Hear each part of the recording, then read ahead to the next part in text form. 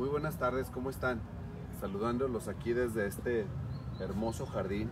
Y bueno, pues hoy quiero platicarles sobre dos amores que tengo, que a una la amo desde que nací y a la otra pues es mi proyecto, mi proyecto de vida con quien convivo todos los días. Y bueno, pues este quiero agradecerles, no solamente agradecerles con solamente unas palabras, sino por todo lo que han hecho, lo que han hecho por mí, lo que han generado en mi vida, pues son parte de mi proyecto de vida. Jenny, ¿cómo estás? Sí. Pues ella es mi, mi esposa Janine. Tenemos más de ocho años de casados, duramos siete años de novios y hemos emprendido una familia juntos con Leo y Alejandro. Ahora yo te voy a entrevistar. Muy bien. Oye, amor, ¿qué ha significado para ti el ser, el ser mamá de dos preciosos bebés? Bueno, yo les sigo diciendo bebés, Sí. pero la verdad es que uno ya está más grande, pero siguen siendo nuestros bebés. ¿Qué ha significado para ti? Yo creo que ser mamá ha sido de lo más bonito que me ha pasado en la vida. Desde que supe que estaban embarazada, desde que escuchamos ahí sus los latidos del corazón en el ¿Qué ultrasonido. sentías, amor? ¿Qué sentías Pues mucha en emoción. la, en la primera cita cuando fuimos al doctor y cuando fue el primer, ultrasonido. el primer ultrasonido? Mucha emoción, mucha alegría. Se siente, desde ahí yo creo que se siente un amor inmenso y ya cuando los conocí a cada uno, a Leo y Alejandro, pues creo que ahí pues se resume, creo que el amor verdadero en los hijos. Sí, que los quieres pues con todo tu corazón, quieres lo mejor para ellos y quieres que sean felices. Creo que esa siempre es la labor de una mamá. Aunque siempre las mamás tratamos de que nuestros hijos sean, sean felices. Creo que es lo principal y súper bonito. Eh, pues es el amor sincero, el dar sin esperar nada a cambio. Y creo que siempre cuando eres mamá te conviertes pues en una mejor persona y entiendes también a su vez a tu mamá, la valoras más. Yo creo que uno se vuelve también mejor hijo porque valoras lo que tu mamá hizo por ti. Cuando dicen que aprendemos a ser hijos cuando somos padre o madre. Sí. Oye, amor, ¿te acuerdas cuando nació Leo? Eh, que tuvimos que tener un proceso especial del diagnóstico del doctor. ¿Cómo te sentiste? Mm, Pues preocupada, pero también creo que esperanzada de que siempre, pues siempre como familia hemos sabido sa- salir adelante de lo que venga y pues siempre con el apoyo tuyo. Creo que siempre ahí ha sido como un gran respaldo y de que siempre todo va a pasar, que va a ir bien y pues mi chiquito que lo quiero. Y así fue. Sí. ¿Cambiarías algo de tu vida? ¿Algún sueño? ¿Lo cambiarías y que ellos no estuvieran? Leo y Alejandro. No, ser mamá es maravilloso, es muy bonito, es el amor verdadero. Pues quiero que me acompañen. Vamos con otro de mis amores. Son dos de mis amores muy especiales, entre otros que tengo, como Leo, Alejandro, mi padre. Pero pues hoy queremos que ellas nos platiquen cuál es su, su historia. Madre, ¿cómo estás? Felicidades, señora. Gracias. Gracias, gracias.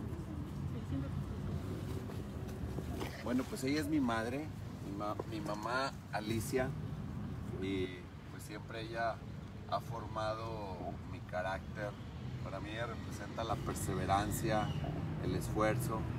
Cuando se enamoró de mi padre y se casó, pues mi madre había vivido en la ciudad y mi padre se la llevó a vivir al campo y siempre muy echada para adelante, nunca dijo que no, siempre lo siguió a mi padre, incluso desde que andaba de trailero, madre, lo seguiste, ¿a dónde lo seguiste cuando andaba de trailero? A ver, cuéntanos. Cuando nos casamos, casados, él todavía era trailero. Y le dije, yo me voy si quiero un viaje con él, ¿verdad?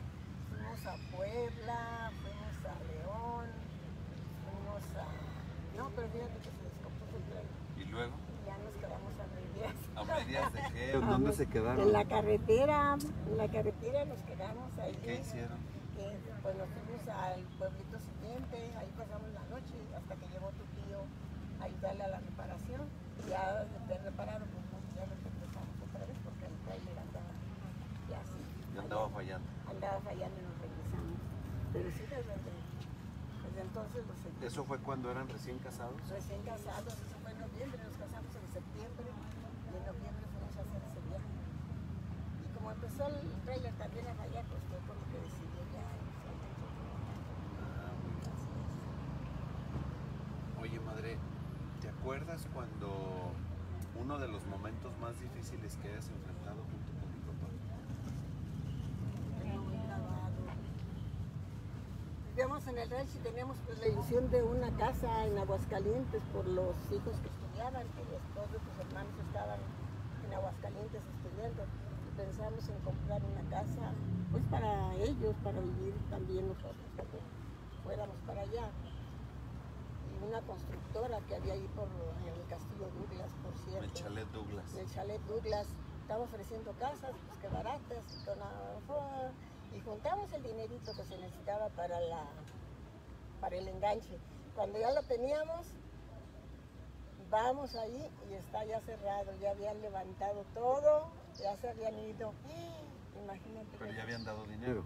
Habíamos dado ya dinero. O sea, habían había- estado dando Habíamos dinero. dado dinero, sí, porque el enganche pues era pesadito y pues siempre la Y eran como más pagos que estaban haciendo. Sí, pues estábamos haciendo pagos que porque la, para la construcción, que sabe qué, y nos pidieron ellos que para, la, para el seguro social de los albañiles y eso, íbamos a, ya habíamos dado dinero anteriormente, íbamos a dar eso que para los albañiles, que para el seguro social. Nos llevamos esa desilusión muy grande, por cierto, de que ya esa constructora se había levantado, ya no había nada, ya hicimos um, denuncia y todo, pero no, nunca se logró nada.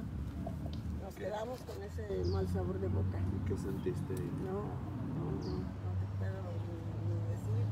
Imagínate el sacrificio nosotros ahí en el rancho, con sí, pues, pocas entradas, ¿verdad? Y eso, y, que nos hicieran eso, pues no, padre duró mucho tiempo con esa, esa cosa. Sí, a solas y eso, porque pues ya nos habían timado y ni modo, bueno, pues ya sé, personas esas desaparecieron ya, no hubo más que hacer salir adelante. salir adelante, echarle ganas, seguirle echando ganas. Bueno, ahora con más ganas. Ya era menos la. ya se había llevado nuestro dinero.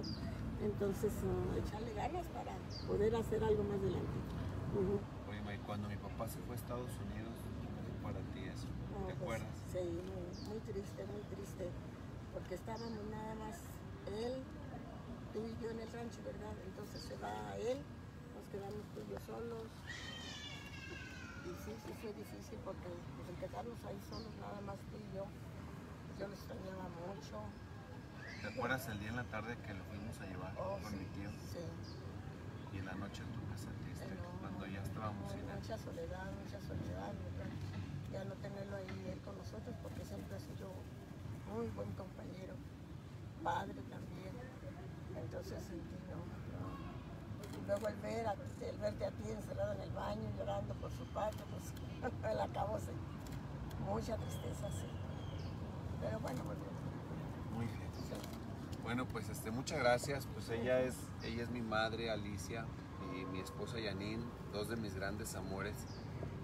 Que no sea solamente un día para celebrar, sino todos los días con nuestra conducta, con nuestra obediencia, vamos a seguir honrando a nuestras mamás. Muchas gracias y gracias por, por seguirnos. Quiero decirles una cosa acerca de Leo, una frase que él tiene. Dice, a los padres no se les honra nada más un día, o sea, el día de la madre del padre, se les honra siempre y todos los días, y así lo ha hecho. Sí. Muchas gracias. mamá. Felicidades a todas las mamás. Gracias.